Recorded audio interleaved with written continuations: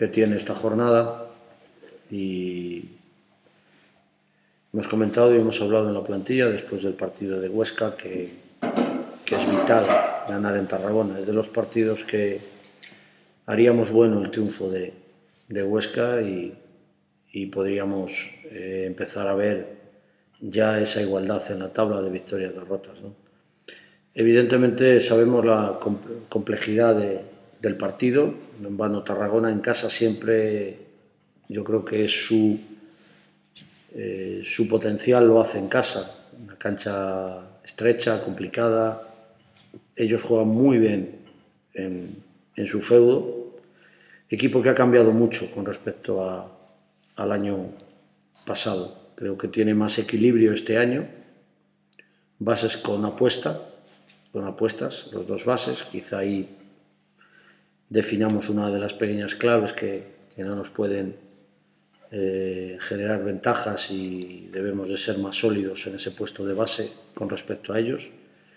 Repito que el equilibrio de ellos viene porque creo que este año tienen un 5 puro, grande además, Rakov que hace 2-10, eh, más equilibrados con los cuatros, eh, tanto Fornás como, como Mitchell son dos cuatros que, que abren el campo, que pueden poner el balón en el suelo, buenos tiradores de tres, y eso les hace ser bastante equilibrados. ¿no? Tienen un tres grande como Alba, equilibrado con Salier, que es otra novedad, y con Iván Martínez.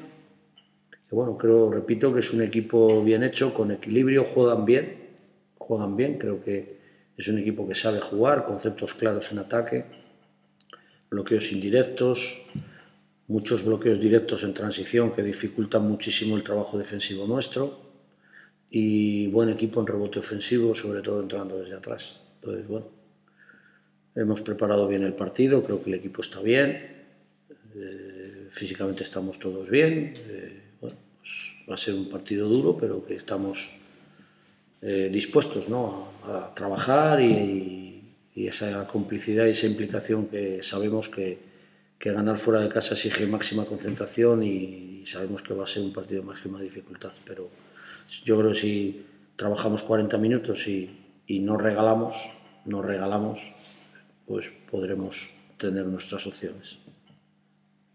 Mm, Bueno, Gustavo, eh, faltan 10 minutos y vas ganando de, de 13 o de, o de 15. ¿Qué les dices a los, a los jugadores entre ese tercer y cuarto? cuarto? ¿Qué les, No les digo ninguna bobada, ni ninguna tontería, es decir, les digo lo de siempre. ¿qué les vas a decir? No, no, no, seguro que no les recordaré nada de partidos anteriores, eso seguro. Los mensajes deben de ser positivos y los mensajes deben de ser claros con respecto al juego, no con, no con el pasado. El pasado pasado está y, y bueno, pues les hablaré seguro de, de seguir trabajando defensivamente, de seguir cerrando el rebote y potenciando lo que nos ha llevado ahí a ganar. Repito que es un error repetir al jugador, cuidado, no, no, no, pensemos en Palencia, cuidado, fijaros lo que nos pasó en Granada. Yo creo que eso es, es un error y los jugadores son conscientes. Lo que sí les he dicho claramente es que aquí no volvemos a pensar que somos superiores a Tarragona, no vamos a pensar que, que, que es que es un rival fácil, eso es un error. De entrada eso es un error. Lo que sí les he dicho, y se lo he dicho hoy, se lo repetiré antes de empezar el partido, no nos lamentemos luego como el día de Palencia o como el día de Granada, luego estamos lamentándonos, qué lástima, qué ocasión hemos dejado ganar, eh, qué partido se nos ha ido. Eso, esas lamentaciones, tenemos que meterlas en la cabeza antes del partido y saber lo que nos lleva a la victoria. a pesar de ser un equipo equilibrado, las cuatro victorias bien las tiene en casa. Esto quiere decir que cada vez es más difícil ganar fuera de casa. Es que eso es así. Es que eso es así. Es que eso lo decimos continuamente y nadie se lo cree, pero lo dice, lo dice cualquier jugador. Eh, las canchas son complicadas, en, las en los parqués, etcétera, etcétera, las luces muchas veces tal. Las canchas eh, todo el mundo en casa juega con una marcha más porque tiene esa eh, no, no presión, sino al revés, esa confianza, esa seguridad que le da jugar en casa, con su público, eh, se permite una licencia más, un tiro más. Eh, bueno, esta liga hay muchos jugadores que les cuesta jugar o mantener viernes, viernes. Hay muchos jugadores que son de cada 15 días. ¿Y eso qué implica? Pues que equipos que en casa dan una cara y en otra no. Y luego también es cierto que, que, los arbitrajes, pues, eh, bueno, hay veces que son duros fuera de casa. O ganas muy cómodo, muy claro, muy claro, o al final, te, como llegues a un partido igualado, te cuesta, te cuesta ganar. Y muchos equipos, nosotros llevamos una victoria fuera y hay otros equipos que todavía no se han estrenado fuera. Eh, ¿Quién lo puede hacer? Pues hombre, pues yo creo que hasta Burgos este año le está costando más ganar fuera, a Menorca le está costando ganar fuera. Eh, bueno, es evidente que también es cierto que nosotros tenemos que, dar ese golpe de autoridad, de, decir, bueno, también mostrar nuestras credenciales y nuestras cosas buenas fuera de casa, como tenemos muchas en casa. Justin está mejor eh, que el último partido, quiero decir podrá participar más que incluso el último Sí, sí, sí. Justin ha entrenado toda la semana fenomenal y haciendo sus ejercicios previos y potenciando su zona tocada y contento con él, repito. Eso te da un plus, ¿no? Te da por lo menos una cierta tranquilidad. Sí, sabiendo además que todos los equipos van a buscar lo que hizo Huesca el otro día con León, que lo tenemos previsto. Y ahí Justin es fundamental. También es fundamental que que Bulding entre en situaciones mañana con Alba o pasado con, con Alejandro Alba tiene que pararle y no estoy que al rebote. En esa situación de que León no esté, necesitamos un hombre más reboteador que puede ser, que puede ser Drake. Pero bueno, que Justin esté bien, que, que mantenga la línea de, del otro día. ¿no? Es, una, es una garantía rotar con cuatro interiores.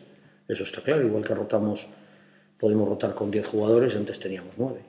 Entonces siempre estoy contento por eso, ¿no? Y, y, yo estoy convencido, es que nos falta quizá un pelín de fortuna también para ganar fuera de casa, porque el partido de Granada fue excelente, el partido de Palencia jugamos brillantemente, y, quitando el de Menorca, y, y, el de La Palma lo ganamos.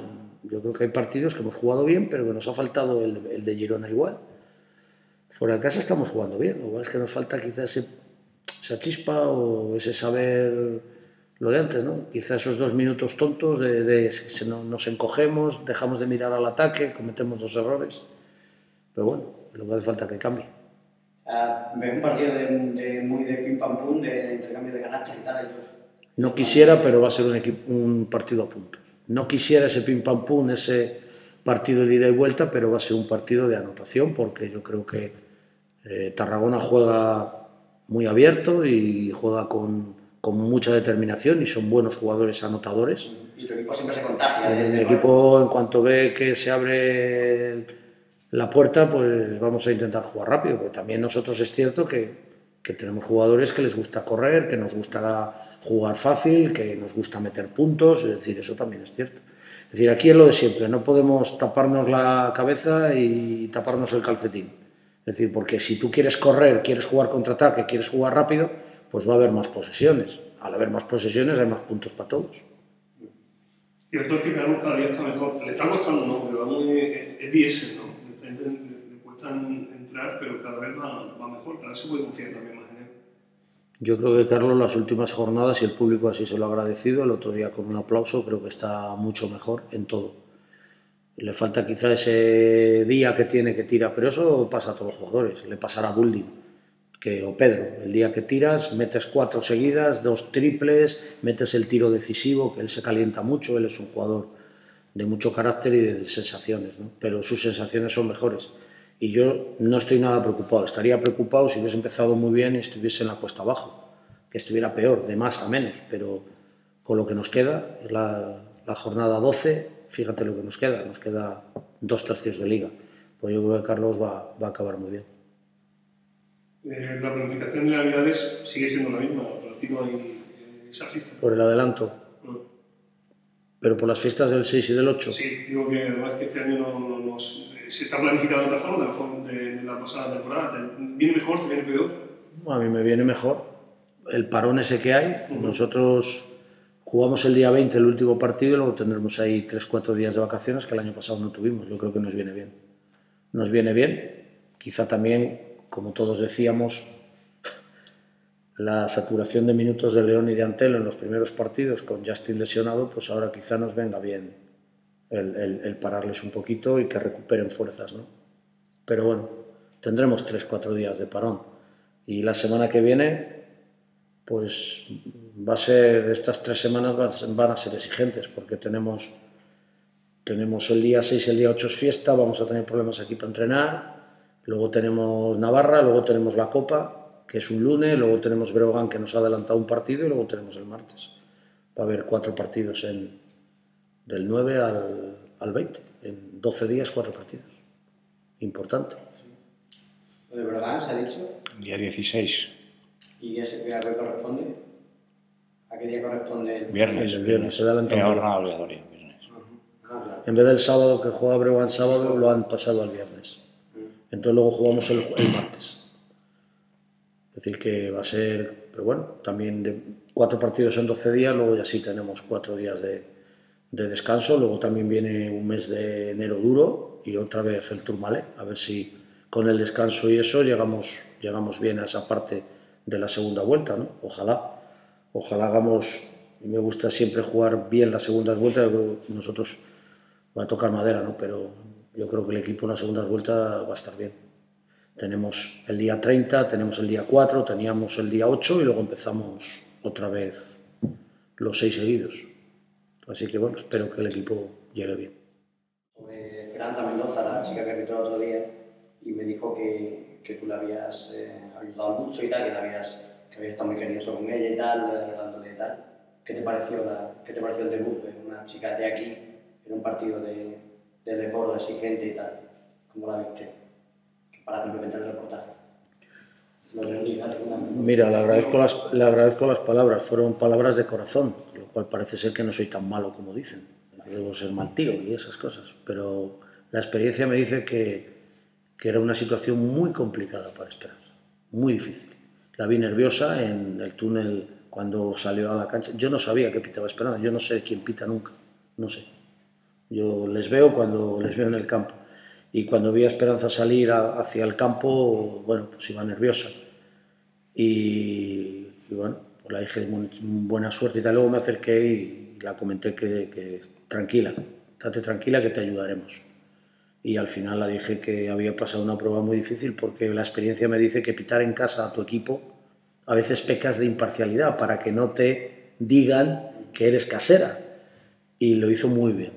La vi muy tranquila en el campo, la vi tomando, pitando con mucha seguridad. Siempre ha sido, fíjate que puede pitar bien o mal cualquier árbitro y cualquier entrenador lo puede hacer bien o mal, pero la vi muy segura de sus decisiones.